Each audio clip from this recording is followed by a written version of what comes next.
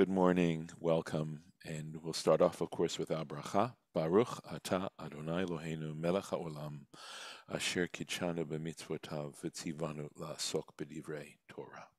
Amen. And I'm going to go to the screen share. And we are starting this very interesting chapter uh, that breaks the story of Joseph. And now we're going to focus on Judah. And here is where we are. Vayikach Yehuda isha le'er bechoro, and Judah took a wife for his son, for his firstborn son Er. Ushma Tamar, her name was Tamar.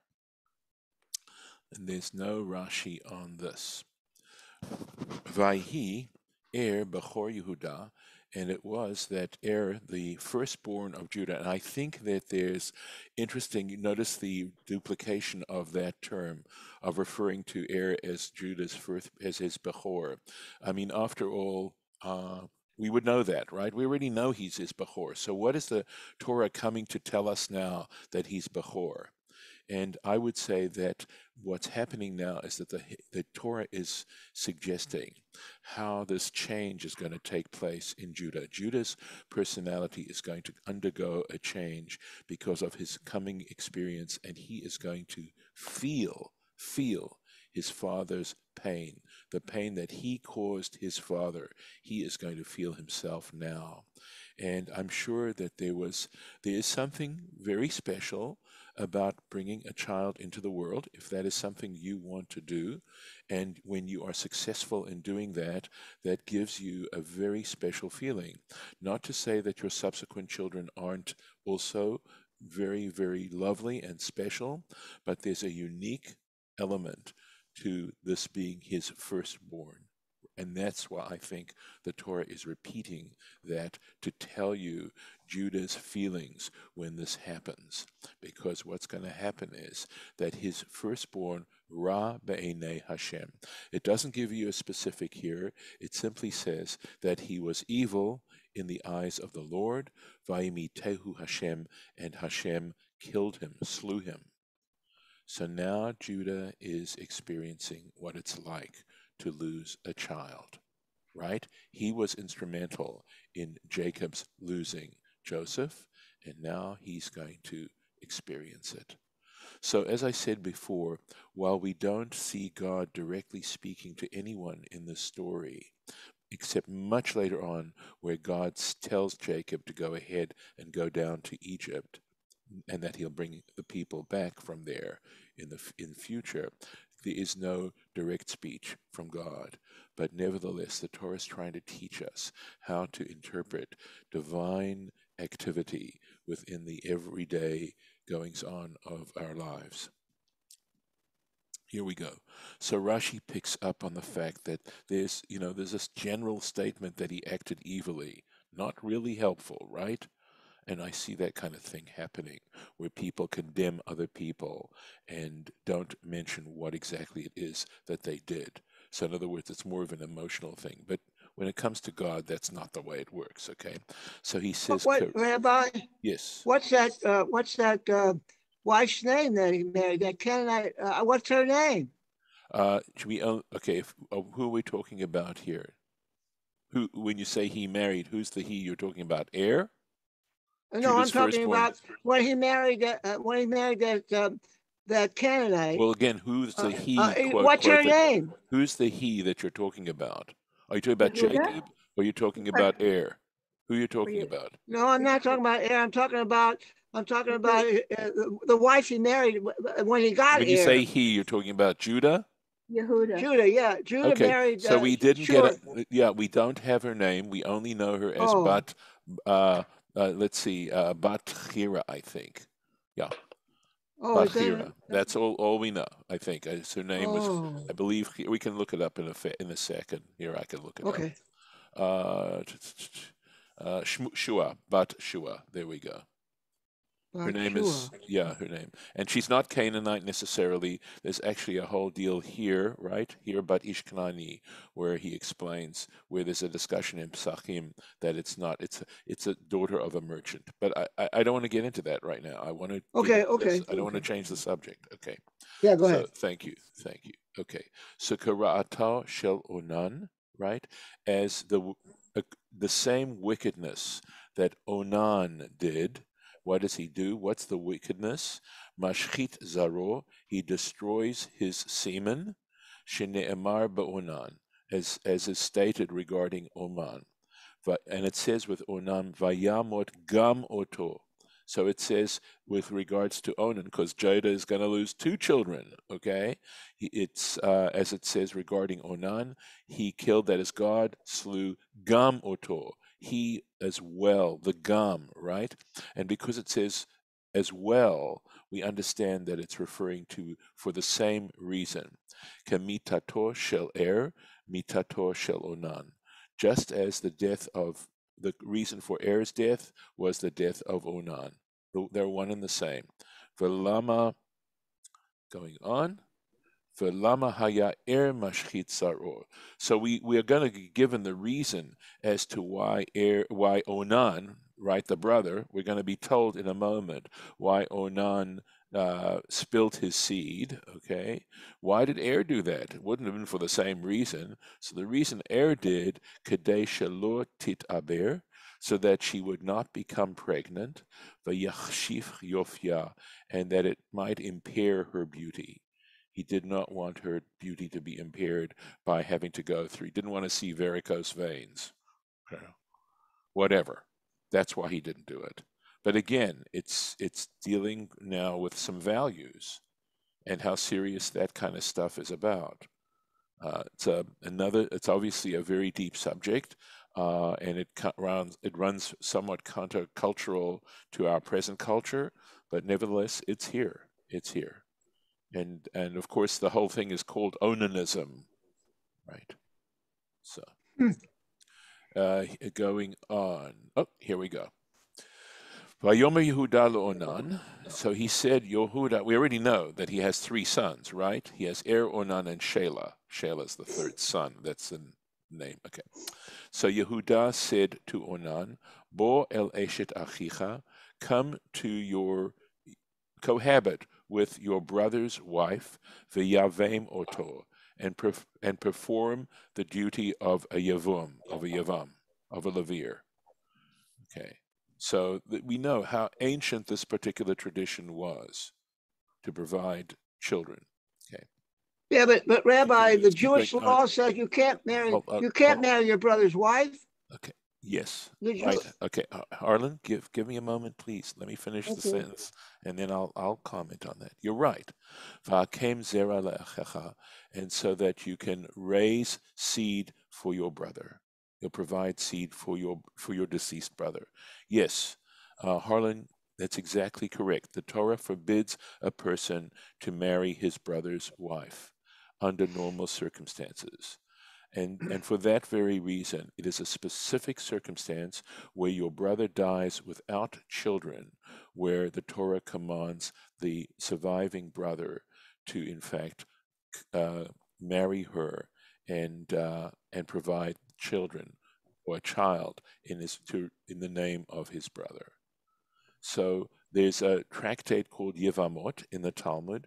It's considered one of the three most difficult tractates, and part of the reason for it being such a difficult tractate is this apparent contradiction of law that you pointed out. And that's what makes it so that there are circumstances where a levirate marriage can take place. There are also circumstances where a levirate marriage cannot take place. And this isn't the time and place for me to go into some of the details of the complexity of it, but um, it's definitely dealt with, and the point you made is well taken. It's a circumstantial thing. And that's, it's only in that particular circumstance where you are allowed to do it. You're not going to say your favorite punchline? go on. Circumstantial. yes, exactly. Exactly. Yes. Well, I wanted to see if you learned it. Yes. Yeah. Okay. It's, it's, exactly. I mean, it's it is a great. It's one of the great truths of the world, yeah. right? And a lot of people, I think, don't really know it. They're not aware of it.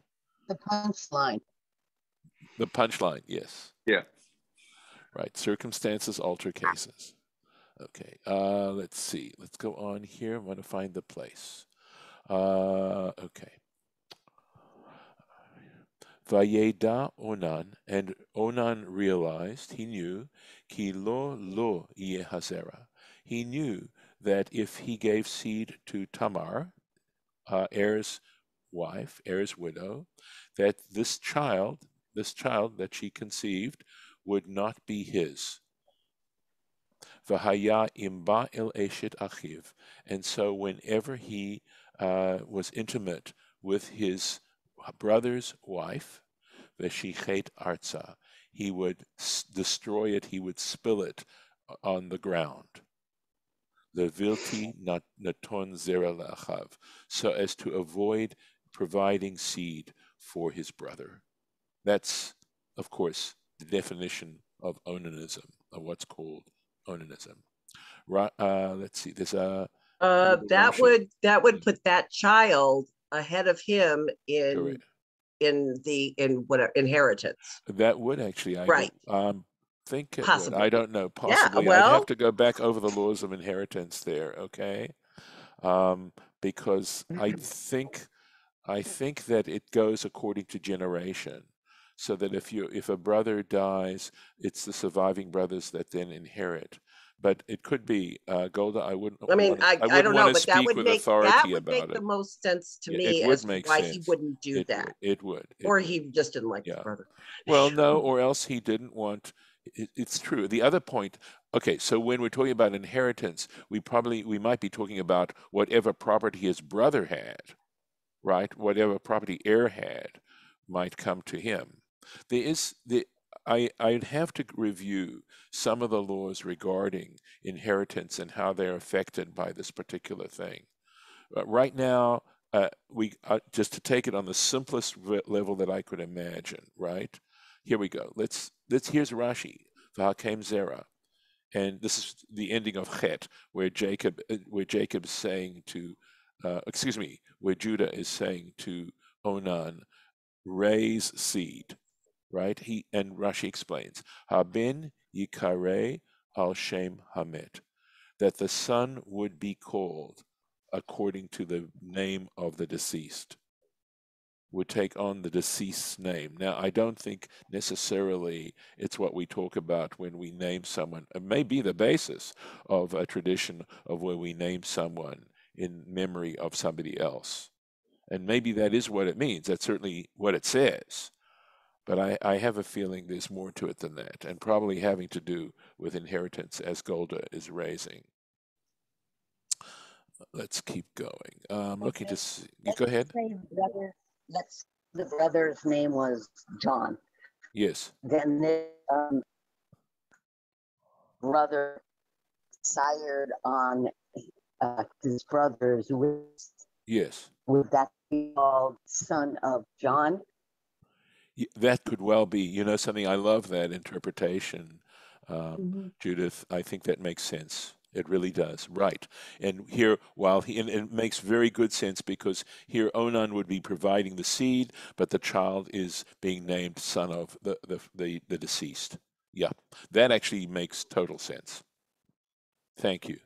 Thank you. That's great. Onward. Vayeda. Okay, so we said this. We already read Tet. So let's take a look here. Veshichet Arza. Right? He he destroyed it by by putting by sending it to the ground. Okay. Let's take a look here. Dash. it's so interesting. Dash mi bifnim. He thresh he threshes on the inside. Vezore mi bachutz, and he sows on the outside.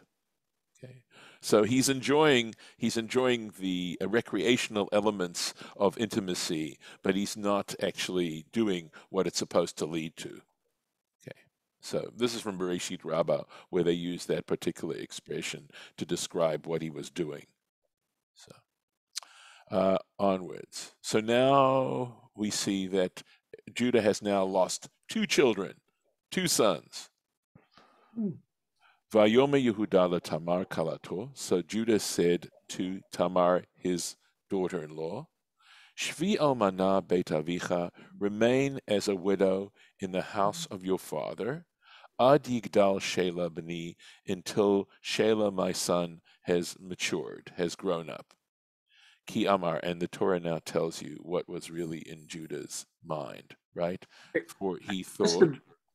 Sorry, I must have missed that. But what happened? How did the second son die? I, I, he died. we we just we just said that God killed him. We don't oh, explain how. Uh, he okay. had a. We could have had a heart attack. Uh, he could have had a building fall on him. I don't know. He could okay. have fallen off a cliff. But we essentially we say that God killed him. Yeah, I mean, I heard that. Okay. Yeah. yeah. Didn't. They were both evil. They were both evil. Yeah, they were they, they were considered evil and evil to a point where God God's justice got applied immediately. Okay, so we're saying what uh, what Judah was thinking. All right. Uh, yeah. Ki Amar, for he thought, that is Judah thought, Pen Yamut Gam Ke'echav, lest he die like his brothers. Vatelech Tamar, so, so Tamar went, Vateshev Beit Aviha, and she remained in her father's house. And Rashi explains what's going on here. Ki Amar. So again, so many examples of the word Amar doesn't mean say, it means think or in this case, he was worried, right? Klomar, that is to say, doche haya'ota, he was putting her off. He was simply de- delaying her. Bikesh shelo bikesh. This is what he really was trying to do. In other words, what Judah was simply trying to do was to put her off entirely. Because it was not in his mind. He was had no intention, the hasialo, to marry her to his third son. He had no intention. So he put he put her off this way. Ki amar penyamut, because he was worried lest he die. Muchzeketi, it appears that it is established, right? Sheyamutu ansheha, that her husband would her husbands would die. Now that it happened to two husbands, this is the this is the reputation she has. So that's what he did onwards. So um, he's still, yeah. I just want to, there's been a lot of um, chat, okay. and I have a different understanding than the people who are okay. making these comments. Okay. Um, one one understanding that I have that I feel is different than what's been said is that I don't believe that there's a given that this is um, necessarily related to Judah's inheritance. And I think that seems to be a, an underlying premise in, in the chat. Um, and another thing is that I don't think that when they say that he was um, taking the father's name, again, I think it's like what what was it Judith I think said Ben so and so. Right. It's not right. that they have like a, the same name that they're called, the same right. you know first name, but instead of like saying, you know, like let's say um you know, Richard was was the um, dead brother, and his brother John um, married the the wife. Then yeah. it would it would be Richardson, not Johnson. That's Correct. the way I see it. That yep. not not that the child would be named Richard. Correct. Like the father, right. but the son of. I, I and agree. the and the third thing was that um, I don't think that um,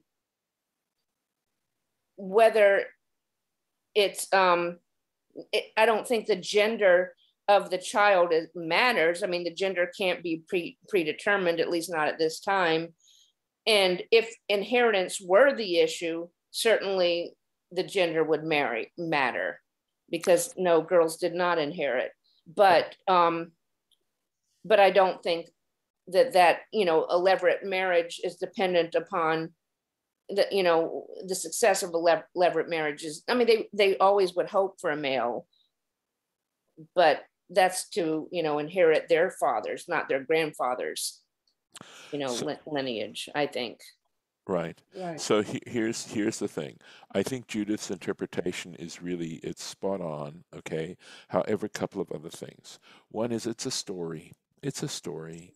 So the assumption is that that that in fact she would have a son. Okay, that they would have a son. I will tell you that although we know that in a case where a man did not have any sons, the inheritance would be passed on to his daughters. We have that whole thing about the, the daughters of Tzlofchad, okay, where they have exactly that situation. It's not, I mean, it's it's not a big issue.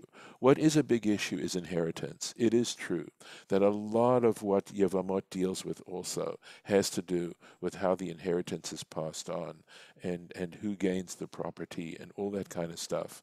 So we can't just totally dismiss it, but for the time being, and I think it's sufficient to understand it the way Judith interpreted it, and and not get um, overly concerned about realities here, because it is a story and it has a different, you know, it has a point to make, and it's going to say it in the way that a story is going to narrate it, and we shouldn't get, I think, overly concerned about um, what really might happen. Just like I think the approach that tries to look at the Bible as a historical book is actually way off base.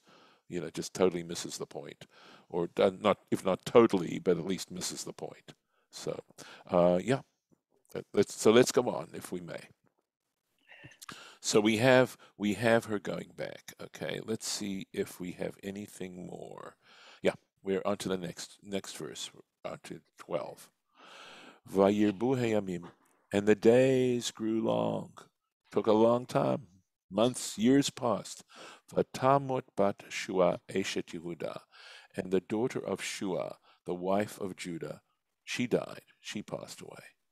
Vayinachem Yehuda, and Judah was comforted. Okay, he got over his grief. Al and so he went up to supervise the shearing of his sheep. Hu v'chira, he and chira, and I think there's a vav here. I didn't have a chance. It just made sense. First of all, this looks, and I think this vav got left out. I put it in. Ray Ehu, his friend Ha'adulami, the Adumalamite Timnata, and they went to Timnah. They went to, up to Timnah to check over the shearing of the sheep. Uh, al Gozazet he went up to supervise the uh, shearing of his sheep.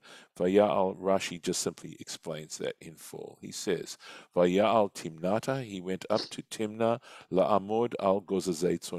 So it literally it means to stand over the shearing of his sheep. So it means to supervise it, right?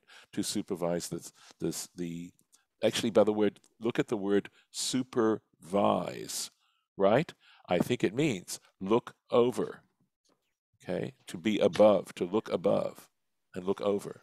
So the actual word supervise. At any rate, is it, just a thought. Is this town oversee? Yeah, oversee exactly. Oversee. Yeah. Good. Where's it? Where's this town at? Is that near Bethlehem or someplace? I do not know. I'd have to look. Okay. I didn't didn't that wasn't part of my research. Okay. Yeah. Okay. Okay. Uh, onwards here. Let's see. So, uh, Okay, on to Vayugad Tamar, and it was told to Tamar. Tamar heard. Wait, there is a Rashi. Yes. Did you get that? Yes, we said okay. to stand right to supervise the shearing of oh. his sheep. Yeah, we did it. Um, it talks about Samson.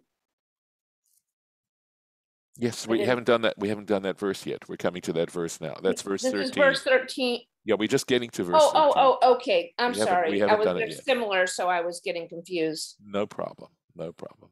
So Tamar was told, Lamor, in these uh, in these words, Hine chamecha, behold, your father-in-law Ole Timnata is going up to Timnah, Lagos Tsono, to shear his sheep.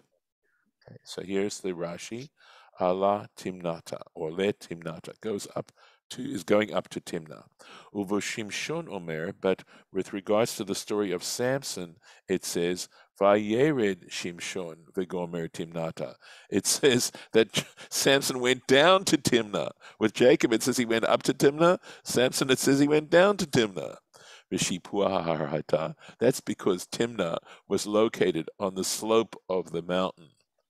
Yoshevit. It was it, it was located at the on the slope of the mountain Olin Lamikan, so you go up from one side, V'yordin Lamikan, and you come down from the other side.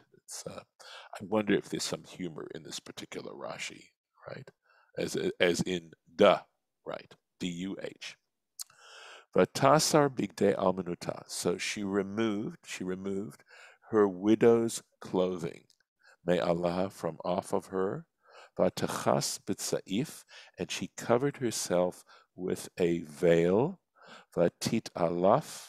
So this is um, this would probably mean that she she couldn't be recognized. Uh, Lauren, if you have something different there in your translation, let me know. In verse 14. Vateshev befetach and she sat at the crossroads, right? At the crossroads, uh, Asher al derech Timnata, which was on the way to Timnah, Ki ra'ata, because she saw, Ki gadal Shela, that Shela had grown up, Vehi lo nitna lo leisha, and she was not given to him as a wife. So now she understood that Judah had no intention of marrying her to Shela. And now she's taking matters into her own hands. Titalaf. There we go. So this word titalaf sometimes I think it can mean that a, it could be with an aleph that it, that one faints. But anyway, kista paneha, there we go. She covered her face, shelo yakirba, so that he wouldn't recognize her. Vateshev befetach einayim, and she sat at the cross at the crossroads. Literally, it means at the opening of the eyes. Okay, bepetichat einayim. Okay, so it says P'tichat Einayim, just another way of putting it up, meaning crossroads. The Parshat Drachim, that's another way.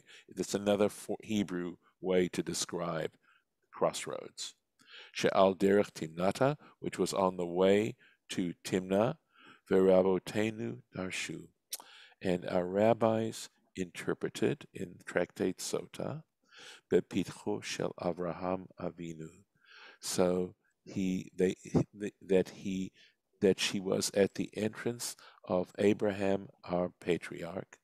Shekol Einaim mitzapot liroto, because everybody was hoping, was trying to see him. So I think that what he means here, that what Rashi is saying, is to establish the desire of Abraham. Remember, Abraham had one had one fear that he and Sarah would never have a child. That was the one thing that Abraham that worried Abraham. And here this is of course her intention.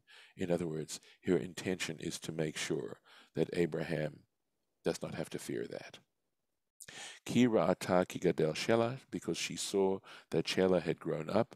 Lefikach Hifkira Atzma Etzel Yehuda, and for this reason she made herself available to Judah. Shahaita mit aver, because she desired, she lusted, la'amid bimenu banim, to be able to have sons from him. She was happy to have the sons from his children, but if that wasn't going to happen, she was going to have sons. She wanted her sons to be descended from Judah. And it had nothing to do with any uh, lusting of any other kind, but just a desire to provide children. And that's, again, circumstances alter cases. And here the circumstance is that she had no no lascivious thought in her mind when she did this. Her one intention was to provide children, to make sure. That's what she wanted to do. And I believe that's what they mean by Pitcho Shel Avraham Avinu. In a sense, you know, at the at the entrance of Abraham's grave, maybe. Okay. But that's here it says residence, but okay. I mean it's in parentheses, and nice. I guess your guess is as good as theirs. Mm-hmm. The point is that it's got about it's got to do with Abraham's desire to have offspring. Yeah, it says um, to the at the entrance to the residence of our father Abraham, which all eyes looked forward to see. Mm-hmm. Mm-hmm. Yeah. Which is probably, I wouldn't mind having seen some interpretation of that to exactly what, what they were intending by that, unless it simply has to do with Abraham's righteousness, the idea of making sure that human beings act in a righteous way and that we all long, at least most of us, I suspect, long to see righteousness established. And that's so, what Abraham was doing. Yeah. Go does ahead. that her? Yeah, I was just going to ask, does that make her like, it sounds like that makes her a righteous person, yes. right? Because so, so does that also tie back to maybe why the first two sons died? you know, because of the fact that they were not righteous, right? And she couldn't have children by them because they they wouldn't have been worthy of it. Correct. In, in sense. Yeah, yeah. I think I think you're right. I think you've touched on a on an interesting connection there, right? She is definitely considered a righteous person. But and she even, did do a deceptive. She she operated through deception. So right. That's correct. You know, it's but, not so straightforward to see her as no, no. like Abraham. I mean, in the case of Abraham and Sarah, they decided to do a kind of surrogate uh, yes. parenting, but correct. they did it uh, explicitly. They decided and they made the decision, and there was no deception. Right. Yeah. Right. I, so I, I agree with you. I'm just saying though that her intentions here at the end sound like they're they're very pure, right? In in terms of you know singular desire to have children. So anyway, that that was my point. But okay. I, th- I think it touches on life's complexities. Yep. I don't believe the Torah wants to suggest that the ends justify the means. I certainly don't want to live that way myself. Right. But the trouble was, she was dealing with a man who had no intention of fulfilling what he said he was going to do. And, and likewise, we saw Jacob resort to trickery to, on some level with Laban. And I think that in some ways the Torah is trying to help us deal with an issue with what do you do when it's a matter of survival and you're dealing with someone who is not honest? Are you allowed to, to possibly resort to, to levels of deception in order to survive? And I think the answer is yes, you want, da- you want damage control, and it has to do with the nature of it. But remember, this whole story that with Jacob started off that way, right? With a certain level of deception. But the problem is you have to deal with the reality, and we're not dealing with pie in the sky. You know, part of the part of the challenge of religion is to take values that that may well be uh, eternal but are ethereal because trying to apply them to actually apply them to the way life works out. And if you think about it, the uh, I just was reading in the Heschel book that we're reading at services, Passion for Truth, right? The degree to which people lie, and to the degree to which falsehood is is out there, and the d- degree to which truth is actually assailed by falsehood. And so how do you how do you still in that particular case, how do you look at the big picture and say, I realize there may be prices to pay, but if I want I want victory in the final in the final sense, how does it get achieved? And it's not simple. There's no black and white answer here. Life is shaded. I, mean, I think we should look for befetach, uh, parshanut on those words befetach because yes. I don't think, I think, you know, we don't, we have not cracked this one. And maybe that would be a, a place to look. Okay. All right. I'll see if I, if I have a chance to take a look at it. Okay. I'm looking, here we go. Uh, here's the Bateshav Bepetach Einayim, and there's a whole bunch of stuff down here. So, and another one here too, by the way. Here's another comment on that. So let me see if that sheds any light on this. Yeah. Okay. All right. Uh, and of course, and of course, by the way, just one thing that jumps out in, immediately, right, is petach einaim, the open eyes, the opening of the eyes. What did she do? She covered herself. Look at the irony, right? She mm-hmm. covered herself with a veil, right, so that she was unrecognizable, and she sat at open eyes. Yeah. Right? So, okay, yeah. Okay, let's. Uh, are we tomorrow? To uh, good question. I can't believe we're already out of time. Uh, I'm thinking of it. Uh, I, so let's let's plan it. If it's not going to happen, I will let you know. Okay. Okay. Thank you. All right. So I'm going to stop the share. Though I might miss it because I think I'm I got called into the ECC. Uh, okay. Okay. Yeah. Let me let me see something. Okay. I want to make sure that uh, we are at the place. So I want to find paste the place here. Okay. Uh, right. So it's at Tetvav. We're at Tetvav. Let me mark the place. And God willing, we'll meet tomorrow. I, I had been giving it some thought. I can tell you that. Okay. And I'm going to put the bookmark in here. Let's see here. Okay, so, and I'm going to stop the share at this point and wish those who are listening uh, all the best and stop the recording.